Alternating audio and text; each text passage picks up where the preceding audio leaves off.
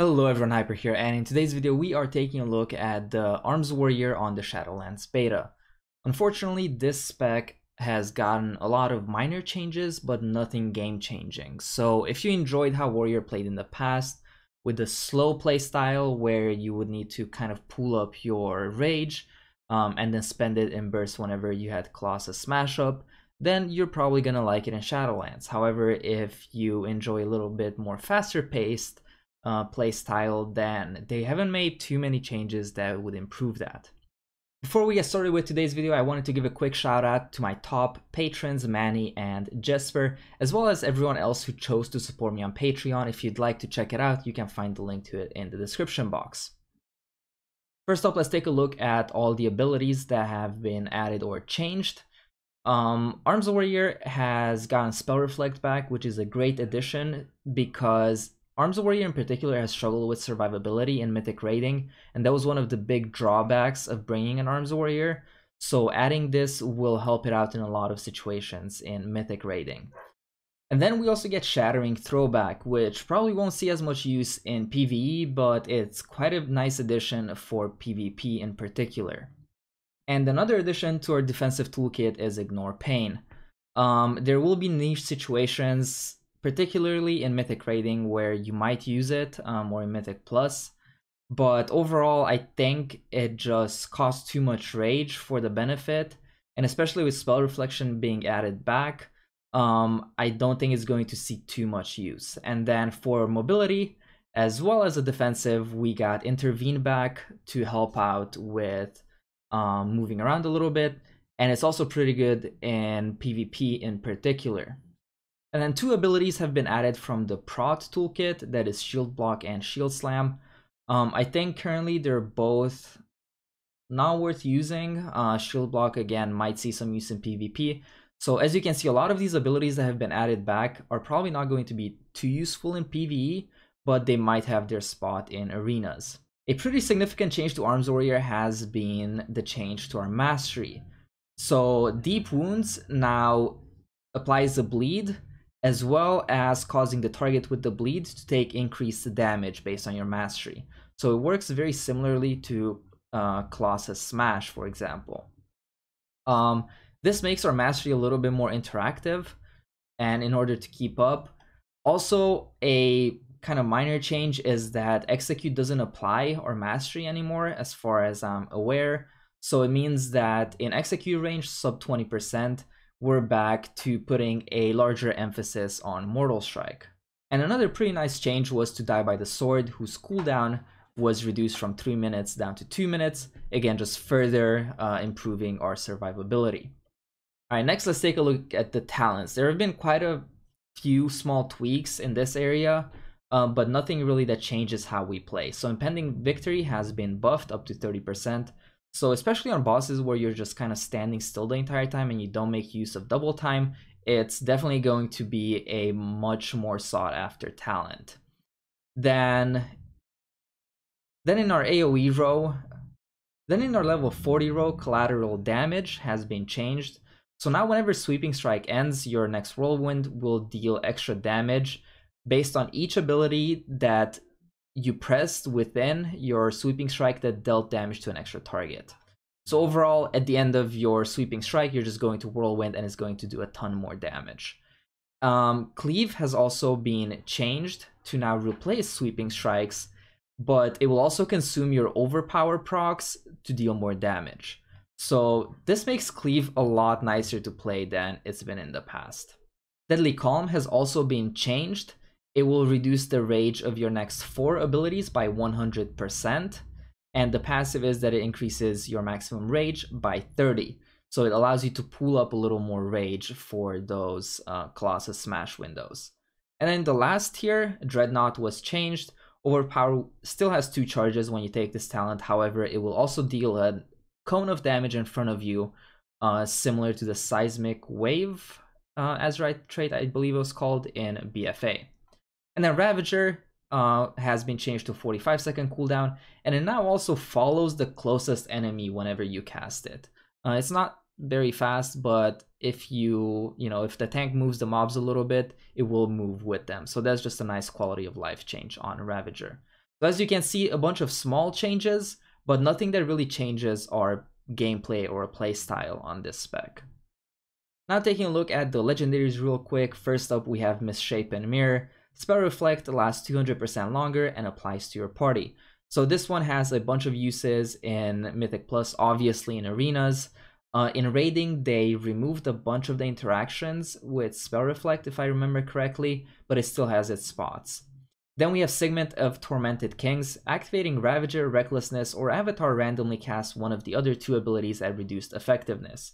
So this ring is particularly good when you go a Mythic Plus build where you take Avatar and Ravager. Um, so basically every time you do a burst AoE, you're going to have double your cooldown abilities. So it makes your burst AoE just a lot stronger than it is without it. Um, then we have Enduring Blow. Mortal Strike has a 15% chance to apply the Colossus Smash effect to your target for 5 seconds. For single target, it might be pretty strong. The other legendaries, uh, Battle Lord, which causes your slam to have a 30% chance to reset your, uh, your MS. Then we have Exploiter. Execute causes the target to take 25% more damage from your next MS, stacking up to two times.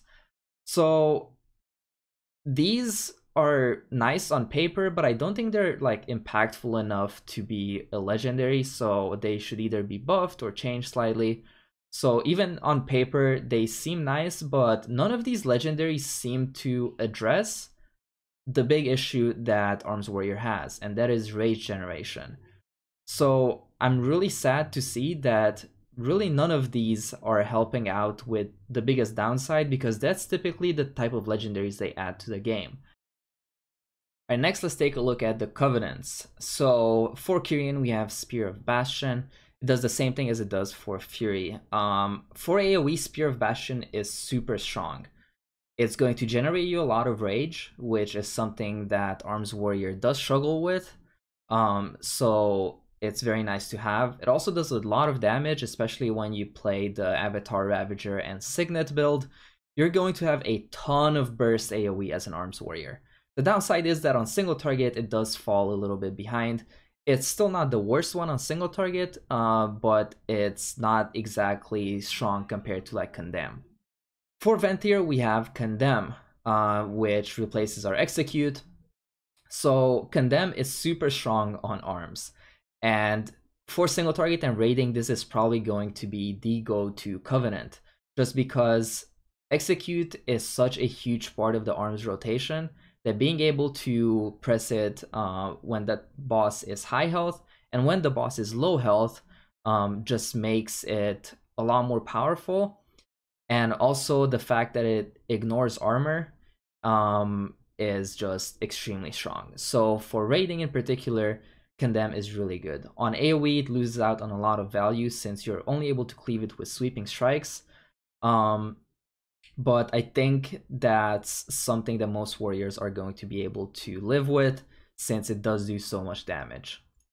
Then for Necrolord, we have Conqueror's Banner. Same as for Fury. I don't like the design of it just because it's an ability that buffs your group.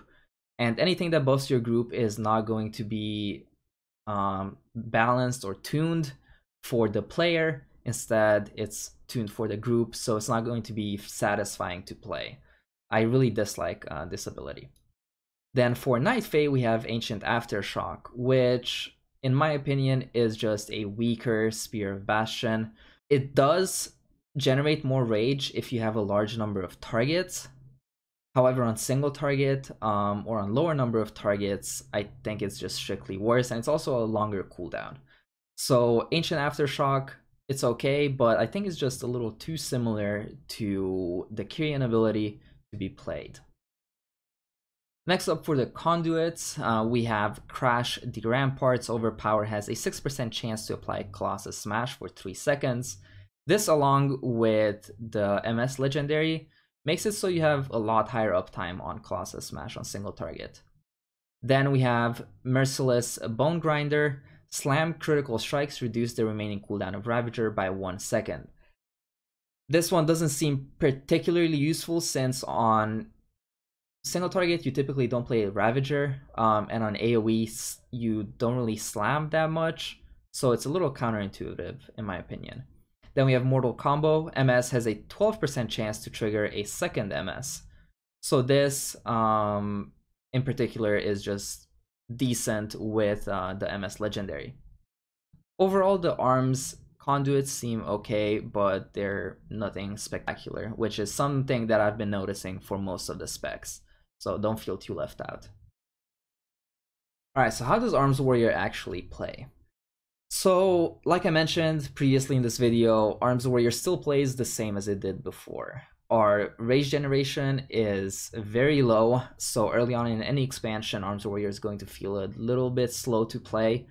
Um, however, the payoff windows of Colossus Smash are still there. My big issue with Arms Warrior is that they didn't address rage generation uh, pretty much at all.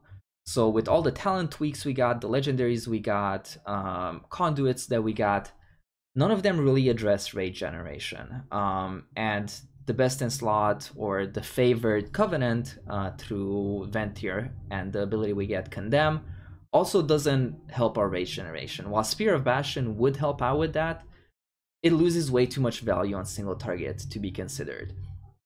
So I'm not exactly sure what their plan is with Arms Warrior. Uh, the AoE burst damage currently is really good, but outside of your burst, you're just doing really, really low damage, which could be good, could be bad, depends on how you look at it. On single target, it's still that slow-paced, hard-hitting spec that it was before, uh, which I'm not personally a fan of. However, some people might be. Um, so if you enjoyed that in the past, that's exactly how how Arms Warrior is going to play in Shadowlands. Thank you so much for watching this video, and let me know in the comment section below what do you think about the Arms Warrior changes. Uh, to me, it seems like they made too many changes that have almost no impact, but that's just what I think. Anyway, thanks again for watching, and I'll see you in the next one.